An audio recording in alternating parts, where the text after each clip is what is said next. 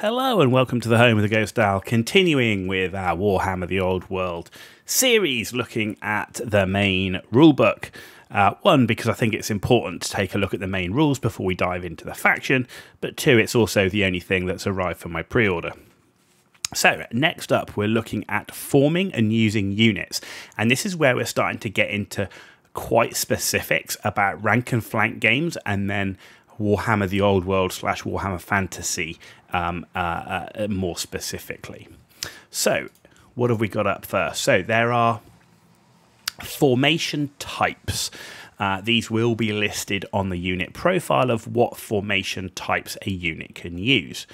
Now you have close order, open order, and skirmish are the sort of the generic three types of formations, and then you can have unit specific formations. A good example of which is the uh, the Bretonnian Knights here in lance formation. That is specific to Bretonnian cavalry. Uh, and of course, that will be explained in the relevant army roster. So, close order formation is the most common, and essentially all models uh, are in base to base contact and they're facing the same direction. All ranks must have the same number of models, with the exception of the rear rank, and they move and fight as a single entity. So, what you can see here, these three infantry units are very much in a close order formation. Now, within close order formation, there are three states in which it can exist. The first one is combat order. Now, combat order means that it is the unit is wider than it is deep. All of the infantry units you see in this picture are in combat order. Now, what do you get for being in combat order? Well, you get plus one rank bonus for each rank up to a maximum determined by its troop type. You can see troop type becoming quite important. Some special rules allow you to increase this. And also, you get a uh, plus one combat result bonus on top for being in combat order. This is what I expect most units to be in most of the time but you can also form marching column. This is where a unit would be deeper than it is wide. So you could be uh, four models across the um, uh, across, and you could be you know having seven or eight ranks in theory. Uh, what what does that mean though? What does it give you? Well, unfortunately, you get no rank bonus if you're in marching column, and you can't charge, but you do gain triple movement. Uh, now overall, I think this is kind of a niche ability. I don't expect to see many formations using marching column, and I don't expect to use it much myself. Maybe there could be some specific cases where you find a unit might have won a combat out on the flank, it's quite a long way from the battle. It decides to reform into a marching column get the triple movement, and then it will have to reform again to get into combat order. So, um, you know, some some interesting things there, but I don't expect to see it that often. I think it's quite niche. Uh, and then the final state is a disrupted unit. Now, a disrupted unit is one that's been engaged in the flank or rear in melee combat by a unit that has a unit strength of five or more. So it's not number of models, it's a unit strength, and we will be coming on to unit strengths. Uh, the other uh, way that you can be disrupted is if 25% of the models in the unit are in difficult terrain or are straddling an obstacle, such as a fence or a low wall, for example.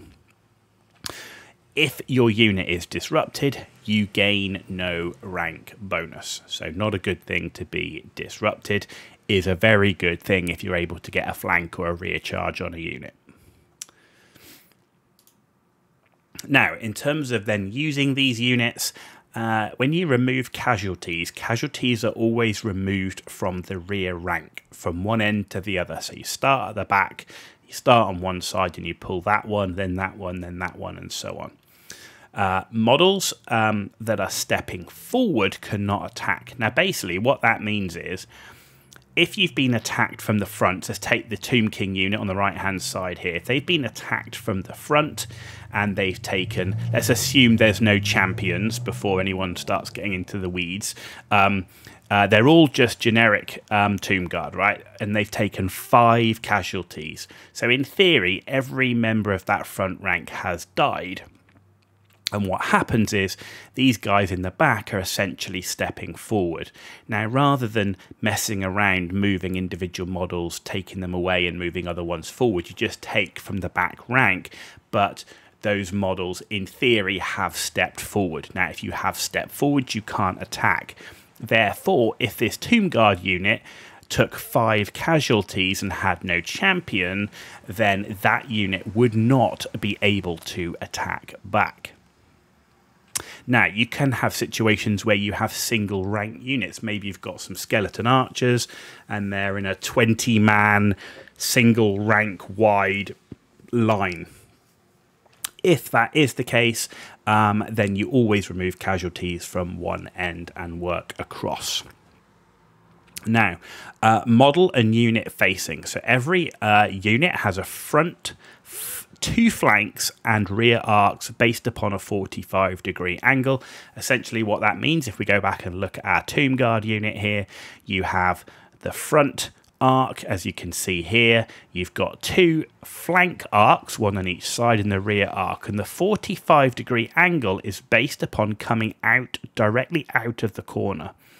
Yeah, so if you look at that sort of 45 degree angle, 90 degrees forward and, and across, split it in half, and it actually comes through the corner of the base, and that gives you your 45 degree angle.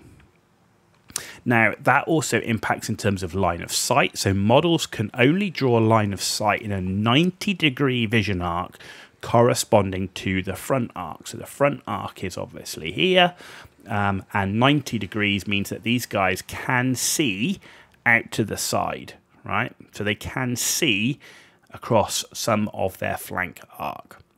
Models and units, however, always block line of sight. Therefore, if you look again in this picture on the right hand side, the unit in front is blocking line of sight at the front from the unit behind.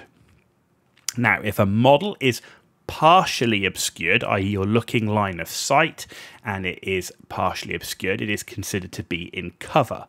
Now, if half or less of the model is obscured, then it's only in partial cover. If half, if, if more than half of the model is obscured, it is in full cover. So that is something to remember, and we'll come on to more detail about what being in cover means when we get to the shooting phase of the rulebook. Again, I hope that was useful. We're starting to get into more specifics now about rank and flank uh, and Warhammer the Old World and how Warhammer the Old World does rank and flank. So I hope I, found, I, hope you guys found that useful. If you did, give it a thumbs up. If you didn't, give it a thumbs down. Let me know why in the comments down below. And as always, if you want to see more content, hit that subscribe button. It's free for you to do, and it's a big, big deal for me. So thank you for that in advance. You've been watching The Ghost Owl. I'll see you all very, very soon.